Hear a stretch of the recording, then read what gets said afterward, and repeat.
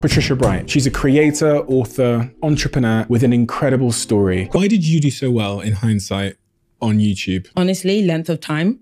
Like I was just doing it for a really long time. You point at consistency as being the real um, factor to your success, but consistency must come from, you know, in, enjoying it. So I just enjoyed making videos that other girls watch and I could talk to the other girls. So I didn't get paid for like four years, but I was always uploading every weekend. Mm-hmm. It was my hobby, which is why I even struggle with it now in that I really want to enjoy it in the same way that I always enjoyed it. I was talking to one of the guests on the podcast a couple of weeks ago about um, this study where when someone gets paid to do a task they used to love doing, they lose motivation for it. That is insane. It's you lose internal motivation Oh when it becomes when when some of the um, reason for doing it becomes extrinsic, monetary.